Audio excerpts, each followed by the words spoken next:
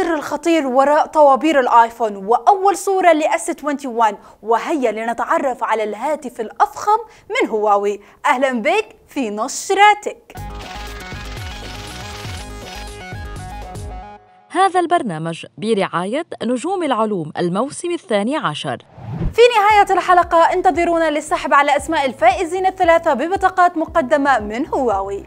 بعد إطلاق الآيفون في المتاجر لم يعد هناك طوابير مثل السابق لطلب الآيفون الجديد بسبب أزمة الوباء العالمي والأزمة الاقتصادية. وهنا نطرح سؤالا ما قصة الطوابير؟ ولماذا يفعلون ذلك؟ فريق رقمي أعد لكم تقريرا يشرح لكم القصة. iPhone 3G. في عهد إدارة ستيف جوبز لشركة أبل كان الرجل يحب رؤية طوابير طويلة من الناس ينتظرون أمام متاجر الشركة لشراء أحدث هواتف الشركة من الآيفون. فهذه الطريقة كانت الأوضح لإظهار محبة الزبائن لمنتجات الشركة وارتفاع الطلب على منتجاتهم. ولعل تهافت الزبائن على المتاجر قبل يوم وأكثر من فتحها لبيع الآيفون الجديد يأتي للحصول عليه بتكلفة أقل من الطلب والشحن عبر الإنترنت في أغلب المرات. هذه الطوابير ربما يراها البعض أمرا عاديا. لكن ثمة أبعاد تسويقية لا تقدر بثمن. الطوابير تمثل دعاية ضخمة، فتجمعات الناس وإقامة الخيام والبقاء يوما وأكثر أمام المتجر يجذب وسائل الإعلام لتغطية ما يجري، فلك أن تتخيل أن هذه الأخبار تتصدر شبكات رويترز، سي إن إن، بي بي سي، واشنطن بوست، فوكس نيوز، وقنوات اليوتيوب، المواقع الشهيرة، منصات التواصل الاجتماعي. يقال في عالم التسويق إن إخافة الناس من عدم الحصول على شيء أقوى أضعاف المرات من سرد فوائد الحصول على المنتج. فالطوابير المزدحمة تلعب في العقل الباطني للبقية لأن عليك الإسراع كي تحصل على هاتفك قبل نفاذ الكمية. وهذا يتوافق مع الشائعات الكثيرة التي تتردد أن أبل دوما تحت الضغط الشديد لإنتاج عدد كاف من الأجهزة. بالتالي تصل الرسالة إلى المستخدم. أسرع هيا! اشتري الآيفون قبل نفاذ الكمية. وبالعادة تطلق أبل الآيفون الجديد بعد عشرة أيام من الكشف عنه في المؤتمر وتكثف خلال هذه المدة الحديث عن نفاذ الكمية الأولى لتحفيز المستخدمين على الانتظار أمام المتاجر والحصول عليه بل والفوز بشرف صاحب أول آيفون جديد. وقبل سنوات شهد طرح جهاز آيباد 2 طوابير طويلة وكانت أبل من تعمدت هذه الطوابير حينما منعت الطلبات المسبقة. لم ترغب الشركة في تكرار الخطأ مع متاجر فيرايزون عندما تم طرح فيرايزون آيفون عبر الطلب المسبق. الأستاذ المساعد للتسويق الإكلينيكي في جامعة جنوب كاليفورنيا إيرا كالب يقول إن المنافسين مثل سامسونج ومايكروسوفت يقعون في فخ أبل من خلال الاستخفاف بطوابير الانتظار في إعلاناتهم التجارية. مثل هذا الإعلان الذي سخر من طابور انتظار آيفون ثم يظهر شابان لديهما جالاكسي اس 3 ويذهلان الطابور بمميزات الهاتف التي يفتقدها آيفون. ويقول كالب إن هذه الإعلانات الساخرة تقدم دعاية مجانية لعلامة أبل التجارية. ونفس الشيء فعلته مايكروسوفت التي سخرت من أبل وسامسونج في أحد الأفراح ووصفت هاتفها لوميا بنظام ويندوز فون بأنه يقدم ما يفتقده جالاكسي وآيفون. مايكروسوفت بعدها بسنوات أعلنت وفاة النظام والاستغناء عن الهواتف. نيل باتل واحد من أكبر خبراء التسويق في العالم يقول إن استراتيجية شركة أبل التسويقية قائمة على منهجين الأول وضع المنتج في يد المشاهير والثاني جلب الضجة الإعلامية والتعليقات الإيجابية عن المنتج. فالمشاهير غالبيتهم يحملون الآيفون بعدما تم إقناعهم أنه يليق بهم وأنه يبني جسر تواصل مع الجمهور. فتخيل حين ترى لاعبا مثل مسعود أوزيل أو بوجبا وهم يقتنون الآيفون وكلاهما معا يمتلكان مئات ملايين المتابعين. كم يا ترى؟ ستصرف شركات أخرى للوصول إلى هذا الجمهور عبر الإعلانات المدفوعة. أما الاستراتيجية الثانية تتم عبر جذب أنظار الإعلام إلى مؤتمرات الشركة وطوابير الانتظار وغيرها فأبل تصنع الحدث وتترك للإعلام التسويق لعلامتها التجارية. وهكذا تكون الشركة وصلت إلى أكبر شريحة بأقل التكاليف وأذكى الوسائل وأقصرها بل وأسرعها. بل وحتى الشركات المنافسة تأتي لتسخر من أبل في مؤتمراتها وإعلاناتها. السؤال الآن لماذا ينتظر البعض ليوم وأكثر أمام المتجر؟ شبكة بزنس انسايدر ذكرت أن بعضهم يروج لنفسه وآخرون يحصلون عليه في وقت مبكر لبيعه فورا بسعر أعلى. وهناك معجبون متعصبون وهم يطلق عليهم أبل fan boy وهناك من يسعى للمفاخرة والبرستيج الاجتماعي أمام أصدقائه وزملائه في الجامعة. وهناك من يسعى لخطف أضواء الصحافة والكاميرات. ليكون جزءا من الحدث. والآن يمكن القول إن أبل كان تسويقها ناجحا أيضا لأنها صاحبة ابتكار وجودة في المنتج وهي مطالبة برفع مستوى الابتكار الذي تعرض لاهتزاز الفترة الأخيرة. ولم تفعل ذلك ستواصل بقية الشركات أكل المزيد من حصتها السوقية التي تواجه شراسة من الصين. والآن احجز لنفسك مكانا في طابور اللايك على الفيديو. ظهرت أول صورة مسربة لهاتف جالكسي S21 و S21 ألترا يا ترى هل هناك جديد في التصميم؟ إذا أردت أن تتعرف على هاتف ما عليك النظر إلى الكاميرات الخلفية من حيث تصميم الإطار وتوزيع العدسات. فهي التي باتت الآن تفرق هاتفا عن آخر في الوقت الذي جاءت الواجهة الأمامية للهواتف الذكية بنفس التصميم باستثناء تغيير شكل الكاميرا الأمامية.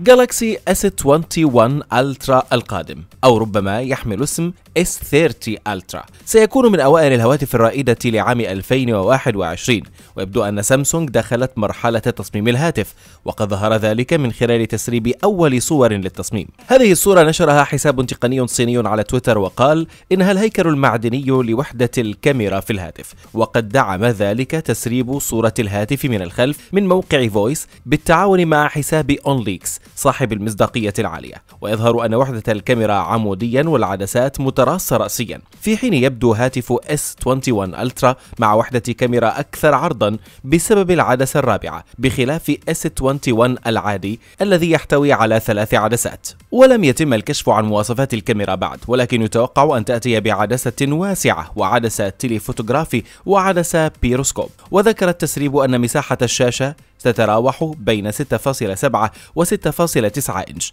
مع كاميرا سيلفي مثقوبة في أعلى المنتصف. من الملاحظات المهمة أن S21 يأتي بشاشة مسطحة مثل النسخة السابقة بينما نسخة ألترا بحواف منحنية قليلا. وترددت شائعات أن سامسونج ستضيف قلم S Pen إلى مجموعة جالاكسي S القادمة ولكن يظهر أن جالاكسي S21 ألترا لا يحتوي على فتحة مخصصة لقلم S Pen ولكن يمكن دعم القلم بدون مدخل خاص كما هو الحال في عدد قليل من أجهزة التابلت جالاكسي تاب من المتوقع أن تحتوي العائلة على S21 و S21 بلس و S21 ألترا وتبلغ سماكة الهاتف 8.9 ملم بدون قياس بروز الكاميرا الخلفية. من هذه الصور ندرك أنه لا جديد يذكر من حيث التصميم وهذا لا يتعلق بسامسونج وحدها بل باتت الشركات تكرر نفسها من حيث التصميم على أمل أن تنتهي هذه الدورة من التصميم السنة الماضية ثم رؤية ابتكار جديد. في نفس الوقت بات تركيز الشركات على تطوير هواتفها القابلة للطي.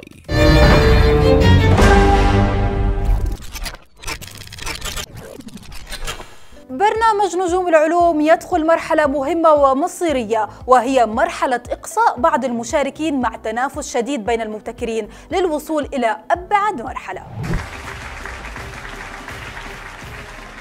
التاريخ يعيد نفسه. التاريخ قد يعيد نفسه. هكذا عرف برنامج نجوم العلوم في موسمه الثاني عشر هذه الحلقة المصيرية للمشتركين. فأزمة الوباء العالمي فرضت عزلة على المبدعين كما فعل إسحاق نيوتن عندما عزل نفسه وخرج بعدها باختراعات غيرت وجه التاريخ بسبب ظروف وباء الطاعون الذي ضرب لندن. السؤال هنا هل المشتركون استفادوا من عزلتهم وتقدموا في إنجاز ابتكاراتهم؟ معايير هذه المرحلة هي تصميم النموذج الأولي للمنتج وتم تقسيمها لثلاثة أجزاء. الجزء الأول التكامل التكامل بين الأداء والتصميم. والجزء الثاني آفاق المنتج في الأسواق. والجزء الثالث استعداد الشخص المشترك. انطلقت المواجهات بين المشتركين وبدأت بالثنائي المهندس الفلسطيني جمال شختور صاحب فكرة حقيبة إنقاذ بقناعين للإسعاف والمهندس الأردني عثمان أبو لبن صاحب فكرة المسند الآلي لسلامة الرأس في السيارة. جمال بدأ استعراض تصميم مشروعه بحيث أضاف تعديلات على التصميم ليكون أخف وزنا وأقل حجما من السابق ليكون أكثر ملائمة للمسعف ويسهل عليه تحريكه في حالات الطوارئ. أما عثمان فواجه تحديا في تصميم المسند ولم يبدي رضاه عن الحالة النهائية للمنتج وأكد على ضرورة العمل على إصلاح الخلل وتطويره للأفضل. ما شفت اللي أنا كنت متخيله المواجهة الثانية بين المهندس المصري أحمد فتح الله عن فكرته المتمثلة بمنصة تعليمية باستخدام المكعبات الإلكترونية والمهندس اللبناني وضاح ملاعب وفكرته المتمثلة في اختراعه لشريحة بيولوجية بهدف تجربة الأدوية لمعرفة فعاليتها قبل تجربتها على جسم الإنسان. استعرض وضاح تصميمه للشريحة البيولوجية وشرح الخطوات التي قام بها والذي أبدى رضاه عن التصميم النهائي وأكد على ملائمة شريحته في حالة الاستخدام. أنا صراحة مبسوط بال chip مبسوط بشكله شكله كتير حلو وعبالي يبينه عبالي يبينه لل consumer يعني لما لما ياخذ ال package أما أحمد فاستعرض مكعباته وظهر الارتياح عليه عندما شاهد المنتج النهائي بعد عملية التصنيع. يعني في كل مكان ويقول نجوم العلوم وكذا شيء عجيب. شكرا دكتور. زين على الأقل إن عندي إثبات إنه أنت عندك اختراع. كنت مبسوط جدا من من من تعاملهم معاه يعني وإن دكتور حتى دكتور يوسف خد اثنين عنده كده وحطهم على المكتب فكانت لفتة رائعة. يعني المواجهة الثالثة كانت كويتية خالصة بين طبيب الأسنان الكويتي محمد المقهوي وفكرته المتمثلة بفرشاة أسنان روبوتية والمهندسة الكويتية سارة أبو رجيب عن اختراعها لماسح ضوئي لردود الأطراف. استعرض محمد فرشاته الروبوتية وأطلق عليها إيزي بروش لأنها تسهل غسيل الأسنان مؤكدا أن الفكرة برأسه تختلف عن الشكل النهائي للمنتج. اللي أنا قاعد أشوفه هذا شيء والفكرة اللي أنا كانت برأسي آه، شيء ثاني. أما المهندسة الكويتية سارة أبو رجيب نجحت بالخروج بتصميم عصري للجهاز. المواجهة الرابعة تتعلق بأمن المعلومات. بين الدكتور اللبناني عزام علوان ومشروعه البعد الحركي الشخصي لأمن المعلومات والمهندسة القطرية إيمان الحمد وتطبيق لخصوصية المعلومات باللغة العربية ويكشف عمليات الاحتيال عبر ال social media. عرضت إيمان تصميمها للتطبيق باللغة العربية وأطلقت عليه اسم آمنة. أما عزام استعرض آلية عمل تطبيقه وأسماه بي آي دي بنهاية الحلقة أعلنت لجنة الحكم إقصاء عثمان أبو لبن وعزام علوان وجمال شختور وبقاء الخمسة مشتركين الباقين لاستكمال مشاريعهم. للأسف الإقصاء سيطال الثلاثة. ويمكن متابعة الموسم الجديد عبر شاشة تلفزيون قطر وأيضا سبع قنوات عربية. وتجدون الحلقات عبر موقع البرنامج وبإمكانكم مشاهدتها على قناة نجوم العلوم في يوتيوب. وصفته الشركة بصاحب التصميم الرشيق الفخامة في المظهر الأناقة في الاستخدام. دعونا نتعرف سويا على هاتف ميت 40 نسخة بورشا من هواوي. Today we bring the latest Porsche Huawei Mate 40 RS. لم تتنازل أواوي عن إطلاق هاتفها ميت 40 بتصميم البورشة تعاونا مع الشركة الألمانية صاحبة السيارات الفارهة وقدمت تصميما وصفته بأنه صاحب الرشاقة. الهاتف عند رؤيته لأول مرة ستشعر بالفخامة مع ظهره المتعرج مع ديناميكية عالية وكأنه سيارة رياضية ذات أضواء براقة. صممت أواوي هاتفها من مادة السيراميك بدقة نانومتر مع الخطوط العريضة وأخرى دقيقة في ظهر الهاتف وجاء بلونين أبيض وآخر أسود. الكاميرا جاءت بتصميم مختلف عن نسخة الميت 40 برو داخل شكل هندسي ثماني الأضلاع يحتوي على أربع عدسات وخامسة لمستشعر العمق وفلاش. الإطار معدني. بينما التصميم من الأمام جاء بشاشة تحمل ثقبا مزدوجا أعلى اليسار لاستيعاب الكاميرا الأمامية ذات العدستين مع انحناء على طرفي الشاشة بشكل واضح. الهاتف ليس نحيفا مع سماكة بلغت 10.1 ملم مع وزن 234 جراما. من الأسفل يضم الهاتف السماعات الخارجية ومنفذ توصيل USB C وفي الأعلى مستشعر IR ومنفذ تركيب شريحتي الاتصال ويدعم الهاتف مقاومة الماء والغبار بمعيارية IP 68 الشاشة مقاس رأسها 6.76 إنش بدقة Full HD Plus من نوع OLED ومعدل تحديث 90 هرتز في الثانية. وقالت الشركة إنها لم تدعم 120 هرتز للحفاظ على عمر البطارية. الهاتف سيأتي بنظام تشغيل أندرويد 10 مع واجهة EMUI 11 الأحدث. المعالج كيرين 9000 الجديد 8 نواة ومصنع بمعمارية 5 نانومتر بتردد يصل إلى 3.13 جيجا هرتز مع معالج ذكاء اصطناعي مدمج. وتقول أواوي إن المعالج هو الأسرع في الهواتف الذكية وقارنته بمعالج أبل A14 ومعالج كوالكوم سناب دراجون 865 بلس من حيث السرعة واستهلاك الطاقة واستغلال سرعات 5G قدرة ال RAM 12 جيجا بايت مع مساحة تخزين 512 جيجا بايت ووفر بصمة مدمجة في الشاشة للحماية بجانب تقنية التعرف على الوجه المعتمدة على الكاميرا الأمامية وحساسات ثلاثية الأبعاد. من الخلف أربع كاميرات من شركة لايكا الكاميرا الأساسية بدقة 50 ميجا بكسل مع فتحة عدسة 1.9 مدعمة بحساس ليزر للتركيز التلقائي. الكاميرا الثانية جاءت بزاوية واسعة جدا بدقة 20 ميجا بكسل وفتحة عدسة 1.8 الكاميرا الثالثة telephoto بدقة 12 ميجا بكسل وفتحة عدسة 2.4 مع مثبت بصري وتساعد على التقريب البصري حتى ثلاثة أضعاف.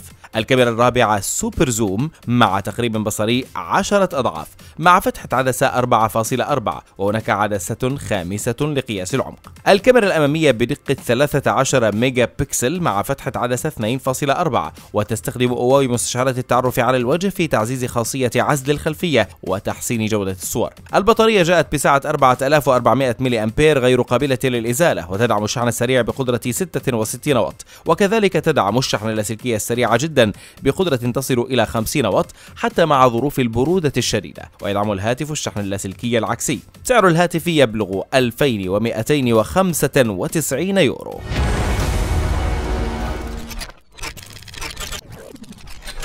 سؤال الأسبوع كان لمتابعينا حول أكثر ميزة أعجبتهم في سلسلة Mate 40 الجديدة.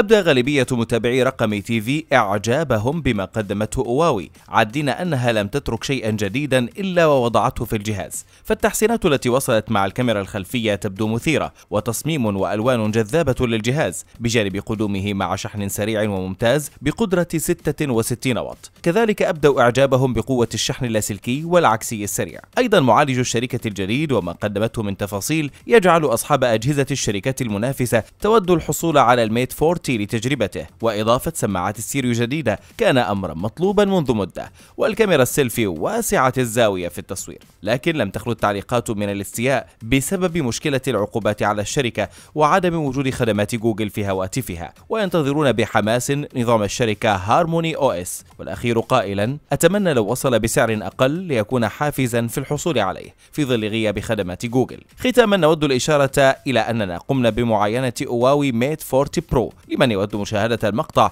يمكنك زيارة الرابط في الوصف. أسفل الفيديو. الفائزون الخمسة بمسابقة أجمل صور لهذا الأسبوع.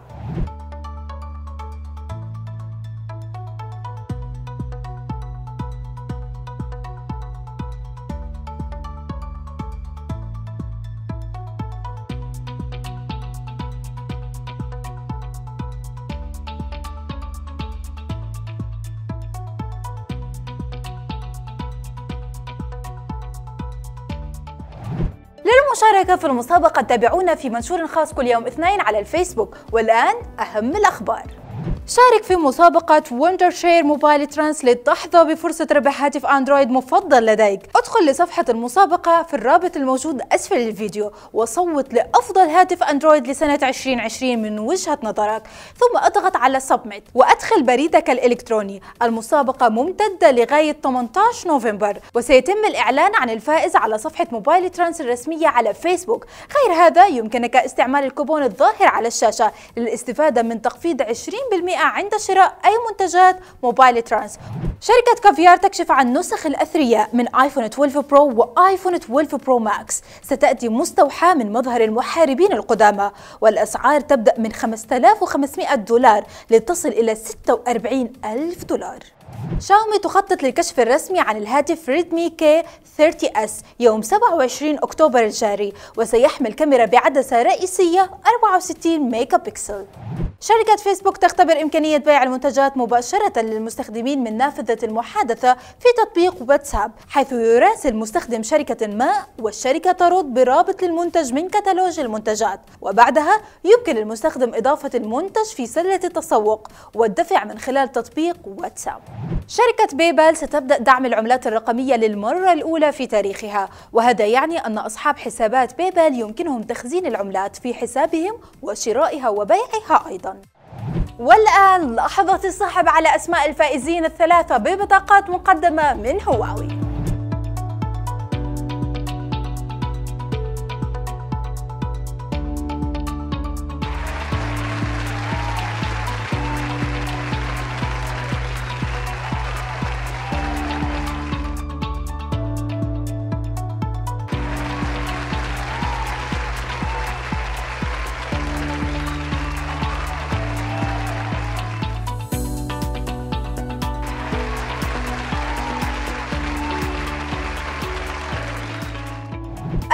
مبروك للفائزين وشكرا لكل من شاركنا والمسابقات لم تنتهي. انتظرونا قريبا في مسابقة جديدة ونلقاكم الأحد القادم. إلى اللقاء.